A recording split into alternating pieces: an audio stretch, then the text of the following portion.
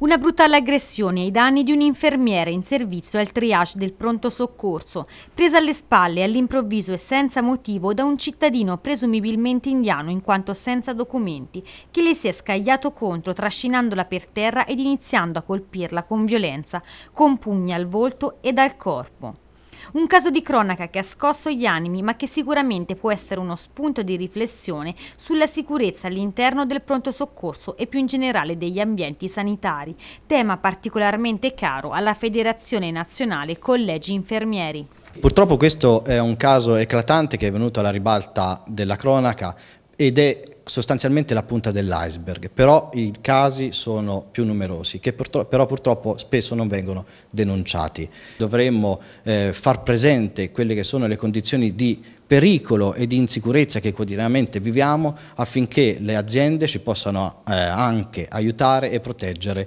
durante la quotidianità. Vengono considerate di fatti le aree più a rischio quelle legate all'emergenza urgenza, quelle alle lungodegenze, ai servizi psichiatrici, ma anche nel territorio. Sappiamo, eh, abbiamo, eh, siamo venuti a conoscenza anche di altri casi nel territorio in cui il professionista sanitario è stato vittima di violenza. Ho nel cuore la collega quando, dovrà, eh, quando ritornerà al lavoro e si ritroverà in una condizione simile, eh, la paura che possa provare e il disagio che possa avere. Quindi noi chiediamo che venga supportata in tutto e per tutto affinché la sua integrità psicofisica possa essere garantita. Le azioni da mettere in campo possono essere tante, può essere quella dell'allarme da poter suonare, può essere quella dell'impianto video da poter inserire all'interno dei luoghi più pericolosi, però sicuramente è la formazione e l'informazione del personale che devono riuscire a riconoscere quelli che sono i pericoli che stanno in quel momento vivendo e devono